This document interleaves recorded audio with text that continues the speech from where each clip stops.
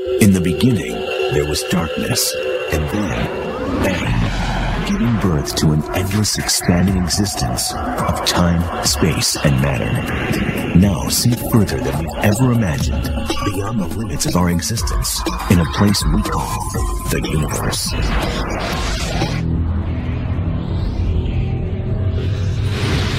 Our infinite universe is brimming with strange, violent, and potentially life transporting phenomena. Imagine cosmic portals where objects could disappear, be ejected, or escape to some other place in space or time. They are tickets to oblivion for the most part. Either you get shredded in a black hole, you get transported to another part of the universe in a wormhole, or you get obliterated by the gusher of the white hole. Blast off to the warp side of the universe as scientists search for black holes, white holes, and wormholes. Are they frivolous fantasies or a science fact?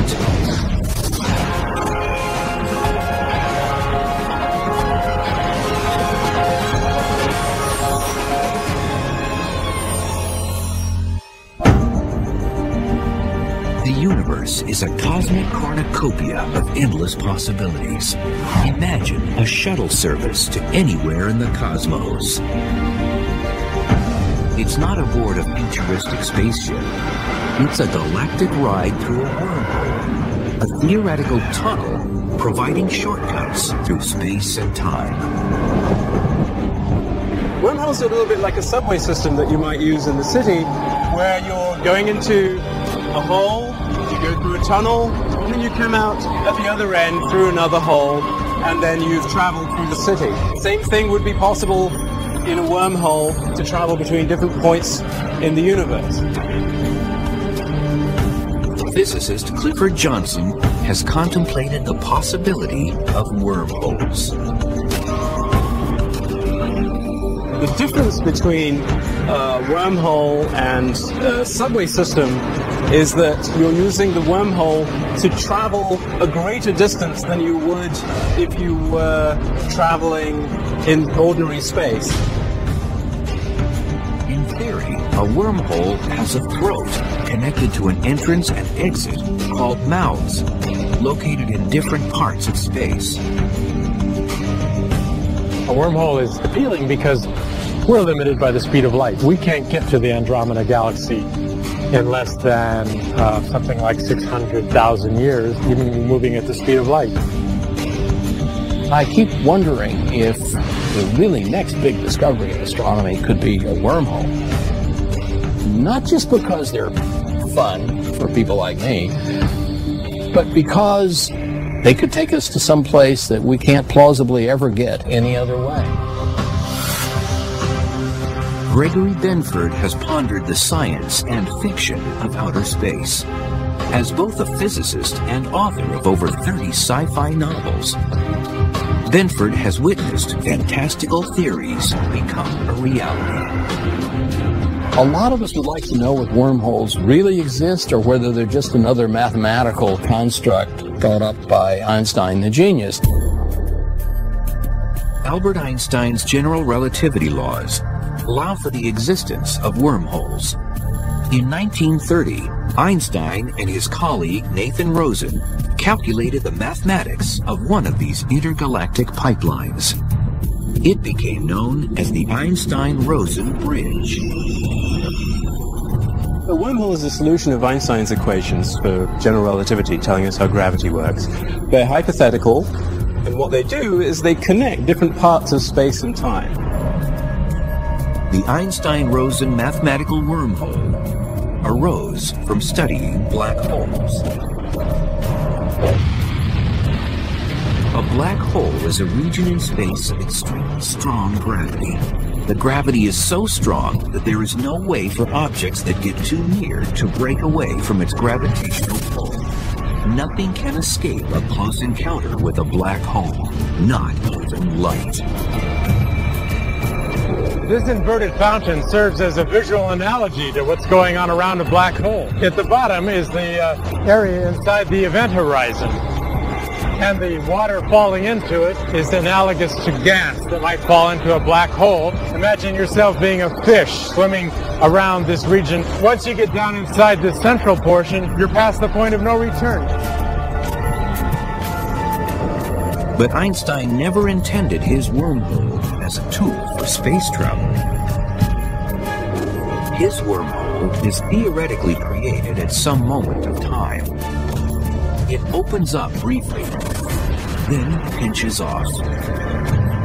Anything that tries to pass through it will get crushed when it squeezes apart. The typical wormhole that you write down in your equations and study is unstable. It'll vanish in an incredibly short time. So what you need is some means of holding it open. After Einstein's wormhole was determined unstable in the 1960s, little research was done on the concept. Then, the sci-fi film Contact was released in the late 1990s. Based on the book by renowned astronomer Carl Sagan, it proposed that a wormhole could be used for space travel. The book Contact and then subsequently the movie was a nice place in fiction uh, that was accessible to everyone where you could see the idea of a wormhole. So it was a nice way of getting people interested in that idea all over again. This was kind of a very far-fetched idea that wasn't even considered very seriously by many physicists until Carl Sagan decided to write this book and try to make it as realistic as possible. And since that time, theoretical physicists studying Einstein's general theory of relativity have considered travel through wormholes. Scientists began to investigate whether there might be a type of wormhole different from Einstein's that is traversable. But traversable wormholes needed something to prevent them from pinching off. You want to stabilize the wormhole. You don't want the wormhole to collapse. Keep the wormhole open. That requires something new called negative matter or exotic matter. We've never seen negative matter before. It would have anti-gravitational properties. But one day, if we ever find negative matter, perhaps that's the key to stabilize the wormhole. The idea of a traversable wormhole captivated science fiction enthusiasts. It also reinvigorated the serious study of wormholes within the science community. This transversible wormhole created quite a sensation because perhaps it is physically possible to one day build a subway system to another galaxy. The term wormhole came from an analogy with an apple. You want to get from one part of the apple to another part. If you're a worm, you can eat your way down into the body of the apple and make a little tunnel and come out the other way, and it's shorter. But unlike a worm moving here on this apple, for a wormhole in our universe, we might not know what dangers lie at the other end of the wormhole. The other end of a wormhole could be connected to a very dangerous part of the universe, with all sorts of exotic phenomena. It might even be in the core of a star. If we ever find a wormhole, and if it's close enough for us to reach, almost certainly we'll first send automated probes through and direct them to come back. Maybe even put them on a cable in case something nasty happens to them and they can't return. Physicists do not know of any way that a wormhole might arise naturally in our universe. But can they be made artificially? One possibility that physicists have speculated about that might allow you to construct wormholes would be to blow them up from what's considered to be the fabric of space-time that might actually contain tiny wormholes seething in and out of existence due to the laws of quantum mechanics. Scientists proposed that perhaps traversable wormholes could be sculpted out of quantum foam. A subatomic bubble-like structure that might exist everywhere in the universe on length scales a billion trillion times smaller than the nucleus of an atom. That's how you do it in principle. It's completely unfeasible using any technology that we know of, but it's at least something you might consider. If one could be engineered or located in space, scientists contemplated other possibilities for a wormhole.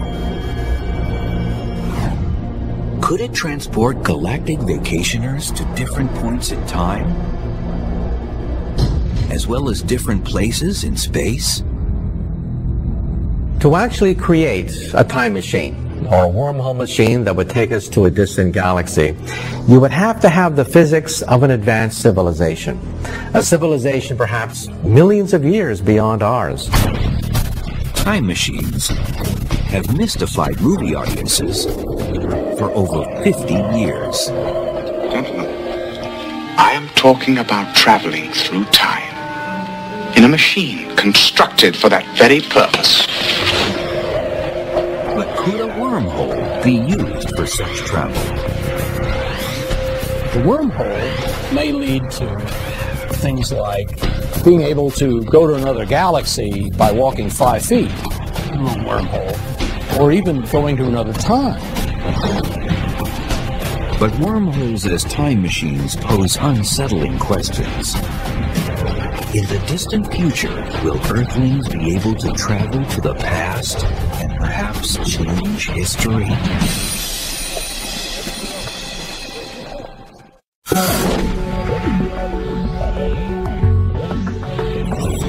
Scientific ideas considered far-fetched today could one day become as acceptable as the fact that the Earth is round. The laws of physics may allow for the existence of wormholes. Tunnels providing shortcuts through space as well as time. So could these cosmic subway systems theoretically be engineered into time machines? Einstein's general relativity laws reveal that time travel into the future is possible. They show that time is perceived differently depending on where one is in the universe and how one moves. Objects moving at close to the speed of light age slower than static objects. And objects near a gravitating body age more slowly than objects farther away. Clocks run at different rates in different gravitational fields. The stronger the gravitational field, the more slowly time passes relative to someone out in space where there's no gravitational field. On Earth here, on the surface, our clocks run slightly more slowly than clocks high up in the sky. So an example of this is that the clocks in the GPS system of satellites run a little bit more quickly than the clocks here on Earth because they're in a weaker gravitational field. And the scientists and engineers developing the GPS system had to take into account the different rate at which clocks run. If they hadn't done that correctly, then your GPS system wouldn't work. If you were taking a trip from Los Angeles to New York, you'd end up somewhere in Massachusetts. Forward time travel has been tested using highly precise atomic clocks. Scientists have placed one clock on the ground and another in a rocket flying high above the Earth. The two were compared using radio signals between rocket and ground. The clock on the rocket ticked faster. Here on Earth, my clock is running more slowly compared to someone in a rocket ship somewhere further away from Earth. So their clock is moving more quickly, they're going to the future faster.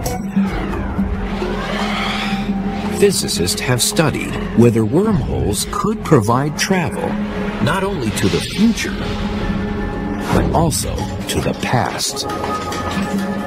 If there was a wormhole with one mouth near Earth and the other in the center of our galaxy, the rate of flow of time will be different at the one mouth than at the other when compared through the external universe. But when looking directly through the wormhole, the rate of flow of time appears to be the same. This difference in their relative ticking rates, as viewed externally versus viewed through the wormhole, would convert the wormhole into a time machine. What that means is that by entering a wormhole, you could leave here today and come out the other end of the wormhole hundreds or thousands of years earlier. The wormhole may lead to things like being able to go to another galaxy or even going to another time. It's possible you can use a wormhole of a certain kind to actually transport information backward in time or people backward in time. But backward time travel raises disturbing paradoxes. Could one actually voyage to the past and change history?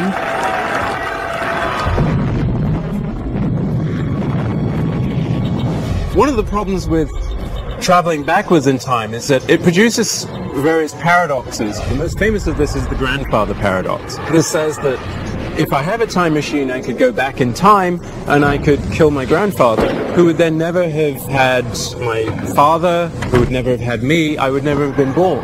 So that means you would never have been able to go back into the past in the first place. Or, let's say you go backwards in time and meet your teenage mother before you're born. And then your teenage mother falls in love with you. Then how can you be born if your teenage mother spurned your father and fell in love with you instead? The practical problems are enormous. But one day, if somebody knocks on your door and claims to be your great, great, great, great, great, great, great granddaughter, someone from the future going backwards in time to meet her illustrious ancestor, don't slam the door. Perhaps in the future, our descendants will have the possibility of time travel, and perhaps one day they may come knocking on your door. Backward time travel has ignited a myriad of science fiction scenarios. If that machine can do what you see it done, destroy it, George, before it destroys you. If the laws of physics permit wormholes, then how can those laws deal with the danger of changing history? One possibility is that the laws of physics allow you to do backward time travel as long as it leads to a self-consistent universe that in some sense the history is not changeable. You can't go backwards and change things which could stop you from having been created in the first place, for example, in the grandfather paradox. For now, forward or backward time travel through a wormhole remains in question, and some scientists think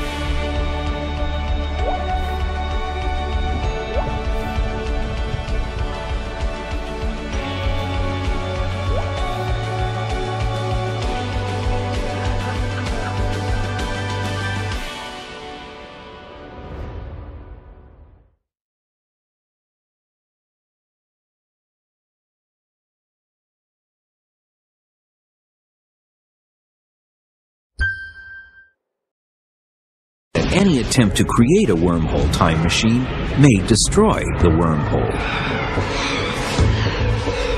What actually happens when you try and make that wormhole into a time machine is that as soon as it starts connecting different times, you get a pileup of radiation so intense that it destroys the entire wormhole, thus stopping you from making that wormhole into a time machine. This seems to be a sign that maybe this is the way nature protects itself using the laws of physics from ever producing paradoxes and strange things that time machines seem to suggest.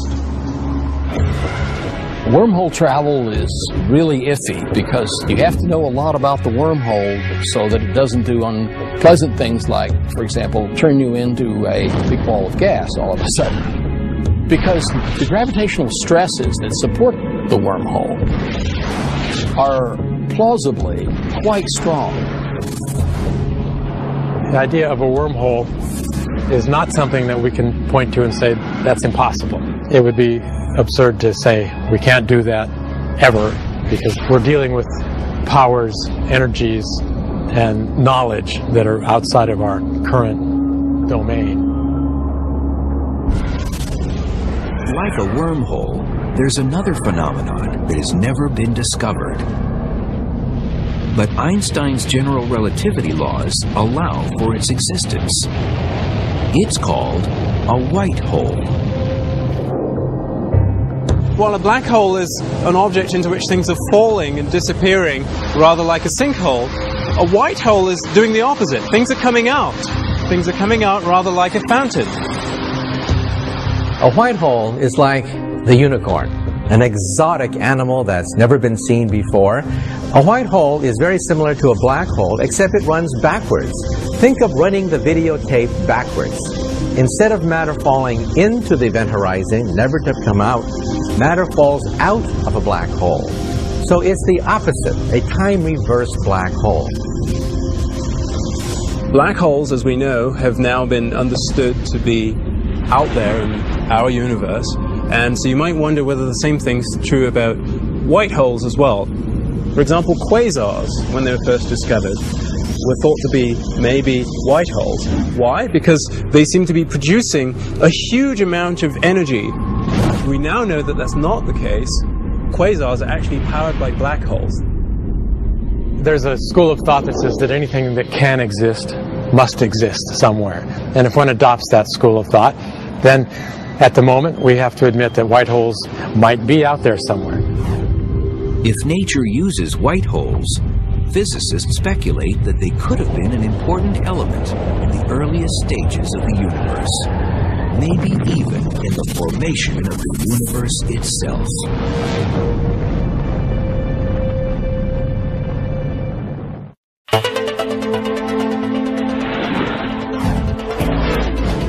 Trying to decode some of the mysteries of the universe, the answers may truly be black and white.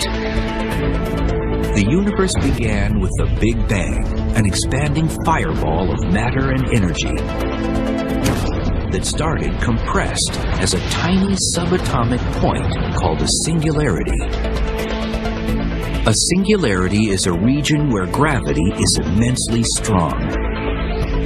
The Big Bang singularity gave rise to the entire universe, which includes space, time, and all the matter that fills it. A similar type of singularity is a white hole, a theoretical object that arises in Einstein's theory of gravity. It's essentially a black hole in reverse, a point of singularity where matter is ejected.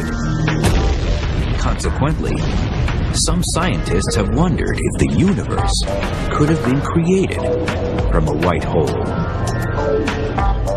One idea to describe the entire universe has been that it's one big white hole in which there's an emergence from some initial singularity. That creative thought is one amongst many for how the universe was seeded and how it began and how the Big Bang emerged. Think about it. A white hole emits matter. It doesn't gobble up matter. But isn't the Big Bang the same thing? That small little quantum dot that expands and spews out matter? So perhaps the white hole could be the story of our universe. NASA's Wilkinson Microwave Anisotropy Probe, known as WMAP, has measured the radiation left over from the very early universe. Studies of this cosmic microwave background have confirmed that the universe began with a brief but colossal growth birth called inflation that preceded its regular phase of expansion. So some scientists speculate whether a white hole could have been the instigator of this growth birth. The evidence coming from our space satellites like the WMAP orbiting the Earth right now is consistent with the idea of a multiverse. A multiverse consists of many universes like soap bubbles floating in a bubble bath. In a bubble bath, we have bubbles popping into existence, collapsing back, giving birth to baby soap bubbles. So in other words, big bangs could be happening all the time. Perhaps each Big Bang starts with a white hole that then expands rapidly, giving us a baby universe. It's still unproven whether multiple universes exist and whether white holes may have created them. But scientists have shown that some types of white holes, although possible in theory, are highly unstable. They would not survive for very long, and they simply collapse to form black holes. Possibly white holes played a role. Perhaps they formed for a very short time, but then being unstable, they collapsed. But even during that period when they were first formed, they may have left some important imprint on the future of the universe. We don't know whether that's true, but it's a possibility. White holes are a nice act of imagination, but uh, I don't think they have any substance yet. They're entirely theoretical objects, but then black holes were that way once upon a time. White holes might or might not have existed at the beginning of the universe. But one thing's certain black holes are no longer science fiction, they're science fact. Scientists agree these whirling vortexes are born out of the death throes of massive stars. When a sufficiently massive star runs out of fuel, it is unable to support itself against its own gravitational pull. It then collapses inward to form a black hole. Black holes are troublemakers in the evolution of the universe. They can draw matter in, spew it out, reform, reorganize regions of the universe, perhaps part of a galaxy, take up residence at the center, start running the show. They're big muscular things that lumber around and cannot be stopped. Black holes are difficult to detect because they're black. But they can be observed when they interact with something in space, such as in falling gas, which heats up and glows in X-rays. Years ago, black holes were considered to be impossible. We have something called the giggle factor in physics. People used to giggle whenever we talked about black holes. But now we see hundreds, thousands of glorious photographs of black holes. There are at least two types of black holes. One is called a stellar mass black hole, which is approximately 3 to 30 times the mass of our Sun. It's speculated that 100 million of these reside in our Milky Way galaxy and similar numbers in other galaxies. The other is a supermassive black hole that is millions to billions of times the mass of our Sun.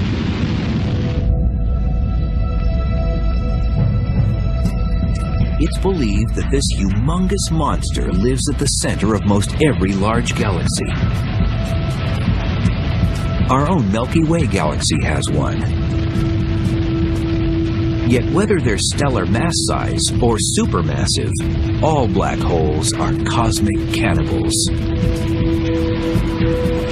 A black hole, in some sense, is like a cosmic roach motel. Everything checks in, but nothing checks out. A trip to a black hole would be fantastic, almost psychedelic. It's like having a near death experience. As you get even closer to the black hole, tidal forces begin to stretch your body apart so that the top of your body and the bottom of your body experience different gravitational forces and you become spaghettified. Eventually, even the atoms of your body become noodles and become ripped apart. In the case of a supermassive black hole, the process of spaghettification is somewhat different. The person jumping in wouldn't be spaghettified until passing through the event horizon. And the reason for that is because the tidal forces that would stretch him aren't strong enough until you get closer to the singularity. So the person jumping in would have a few moments of uh, perception that they were inside of a black hole and they could marvel at that idea before they plunged toward the singularity and then became spaghettified. And if one black hole isn't violent enough, try two black holes dueling for dominance.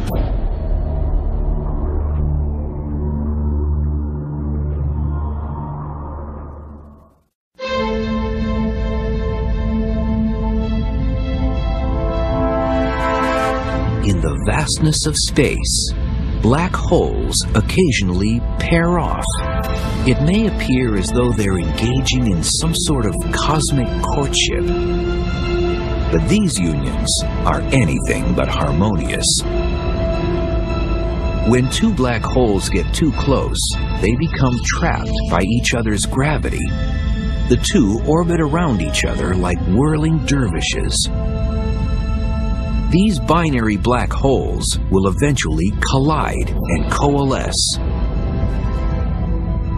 It's believed that collisions between black holes will be quite common. They would be in orbit around each other and then spiral inwards, and at some point they would coalesce. And that coalescence creates a huge disturbance in space-time. If you have two objects that are bending space a lot around them and they merge together, then you'll get this ripple, this wave going out, carrying energy with it. Typically, when black holes collide, they create wild vibrations called gravitational waves, which spread across the fabric of space and time. These ripples would be just like the ripples you would have, say, on the surface of a pond. If you threw a pebble into a pond, it creates a disturbance, and then you see the ripples carrying that disturbance away to far points of the pond. In the past, binary black hole collisions were impossible to identify. Now, scientists have developed gravitational wave detectors to track these vibrations and hopefully catch black hole collisions in the act.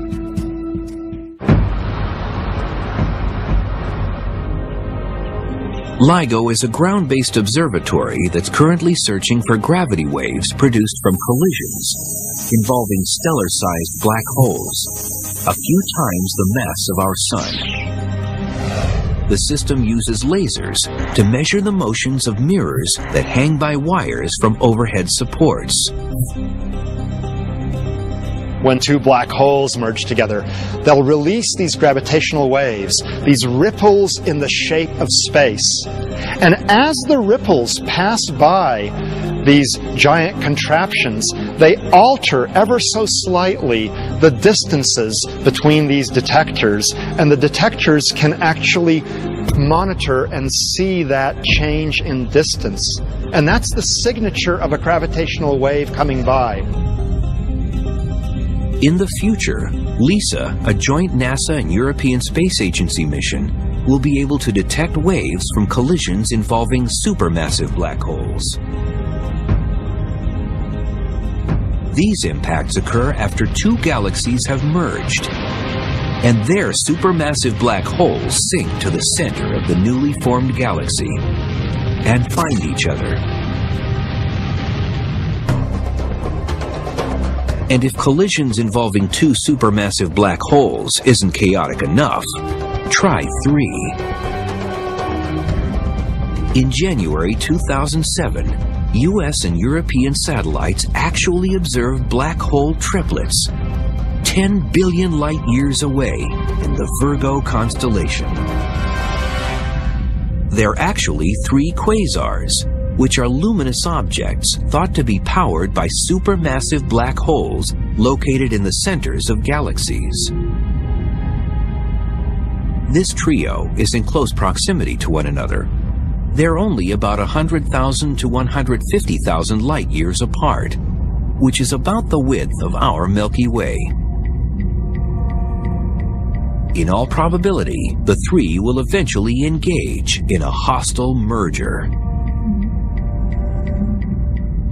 If you take three large black holes brought close together because two big spiral or elliptical galaxies have slammed together, then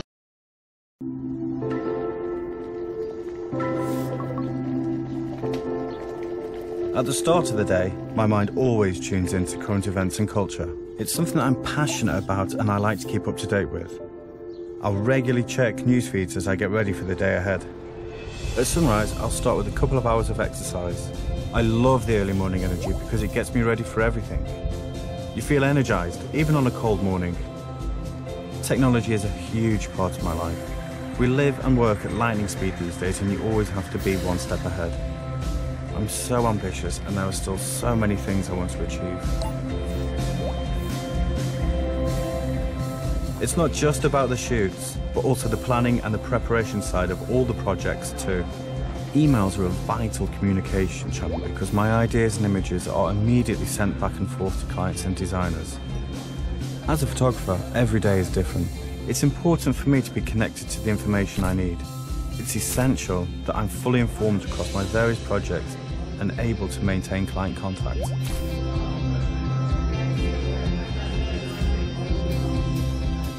I love how London is always changing and still retains its own unique energy. It's like nowhere else on earth. The light is special to the city too. You can look at any photo from anywhere in the world and you will always pick out London.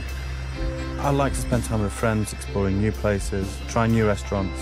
There's always something new to experience.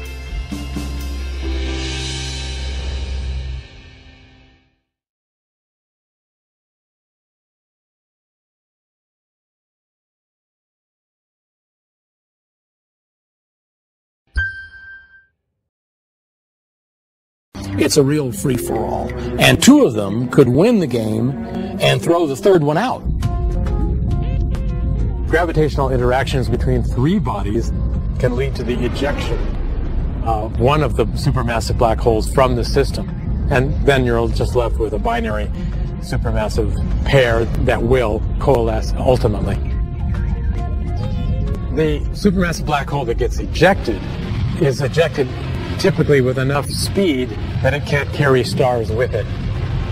So it becomes a rogue black hole. It's off on its own. Modern science continues to unravel the mysteries surrounding black holes. But for some, one enduring question remains. The deepest question in all of black hole physics is what lies on the other side of a black hole? What happens if you throw the encyclopedia into a black hole? Is all that information lost? We don't know for sure. According to Einstein's general relativity laws, nothing can ever come out of a black hole. But if a black hole is extremely tiny, the laws of quantum mechanics merge with the laws of general relativity. Quantum mechanics governs the world of the very small, such as electrons, neutrons, and other subatomic particles. General relativity rules the world of the very large, where ordinary gravity is dominant, like planets, stars, and galaxies. The fact is, when you put together quantum theory with black holes, you find that they aren't completely inert objects that only suck things in and nothing comes out. They actually radiate. The black holes that radiate are called mini black holes, which are much smaller than their stellar mass or supermassive black hole cousins. Celebrated physicist Stephen Hawking proposed that if mini black holes exist, they must emit radiation, which has been named Hawking radiation. It is believed this radiation will cause a tiny black hole to evaporate and potentially disappear. Hawking gave mathematical evidence that when a tiny black hole forms and then evaporates, some of the information that went into the black hole never comes back out. This startling prediction caused a firestorm among physicists because the laws of quantum theory insist that information can never be completely destroyed. Essentially, the world split into two camps those who believed that Hawking's calculation was really it, and the other camp that said, well, Hawking's calculation needs refining. String theory and other theories seem to suggest that the information is actually preserved, it just comes out very subtly. The question of what happens to the information that goes inside a black hole is, I think, not fully settled. The chemical composition of the objects that went into the black hole and other aspects of them, their color, their temperature, etc., etc. We don't really know what happens to that information. It appears unlikely that scientists could venture inside any black hole and return back home in one piece to report their findings. But a worldwide collaboration of scientists may be on the verge of the next best thing manufacturing tiny black holes right here on Earth.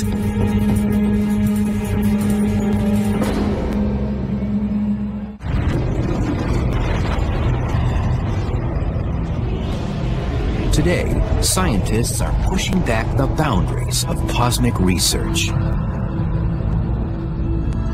If naturally formed black holes aren't scary enough, what about a black hole factory? In Switzerland, at the physics laboratory called CERN, scientists have built the Large Hadron Collider, the biggest, most complex science experiment ever constructed. It's a particle accelerator, 17 miles long, and the weight of five jumbo jets. It's capable of crushing subatomic particles together to replicate the energies that existed microseconds after the Big Bang. This particle collider was designed and built to study important questions in fundamental particle physics. But it will cram so much energy together that if physicists are lucky about how nature works at those energies, it could also produce tiny black holes. We might be able to see microscopic black holes being formed in these high energy collisions, and those black holes would then be amenable to study, they would rapidly evaporate. We'd be able to study their decay products and understand physics of quantum gravity in the laboratory, which is something that we never dreamed we'd be able to do in our lifetimes. But the possibility of manufacturing mini black holes has roused suspicion and fear. Could they escape the Earth's gravity and eventually devour our planet? Cosmic rays from outer space hit the Earth all the time, perhaps with more energy than these mini black holes. So these mini black holes are harmless. They're not going to eat up the Earth. They are not a doomsday device. A similar mini black hole scare happened in the United States. In Brookhaven, New York, a smaller collider experiment is already underway. The Relativistic Heavy Ion Collider, better known as RHIC, is an underground pipeline where gold atoms collide together at 99.9% the speed of light. When the experiment began in the year 2000, news spread that these head-on impacts created black holes. The laboratory, which is very responsible, decided it needed to respond to this and, and reassure people. So it convened a group to look at this. And what that group found was that these kinds of collisions had been happening in outer space, and that had never caused a problem. Theoretically, we produce conditions in these collisions which should mathematically give some similarity to the, the theory that surrounds black holes. But in practice, we're completely safe. There's no way that any black hole that could be a concern could be produced here at, uh, at RHIC. Well, RHIC certainly is not capable of uh, producing a black hole of any kind. There is not enough mass which is being created here by uh, many orders of uh, magnitude. Although RHIC cannot create mini black holes, scientists can go through the ashes of these particle collisions to learn about the early moments a few microseconds after the Big Bang. So uh, we can use this knowledge uh, to gain a better understanding of what happened shortly after the uh, Big Bang, including uh, the possibility of uh, uh, primordial black hole formation. The particle collision experiments in Switzerland and in the US may not produce life-threatening black holes, but they could give several important clues about whether information comes back out of a mini black hole and even how the universe began. They do provide a laboratory to see how far we can push Einstein's theory until all hell breaks loose and the equations collapse. And that's why we think that mini black holes could be a key to going beyond Einstein. Physicists will continue to probe into the mysteries still surrounding black holes. They will also remain on high alert for any signs of the elusive wormholes and white holes. The search for the next frontier marches on. White holes, wormholes, black holes are tickets to oblivion for the most part. None of these are places that you want to take your summer vacation near. And these tickets will cost a lot to even find. These objects are hard to observe in the universe, and only one of them do we really pretty much know is there, the black hole. The others may be entirely hypothetical. They may be the unicorns of astronomy. There are several cases in history of science when an idea or even a solution to an equation just seems like an artifact of our imaginations and it actually turned out to be a real thing. Black holes are such an example. Maybe white holes and wormholes will have some role in nature which we'll one day discover.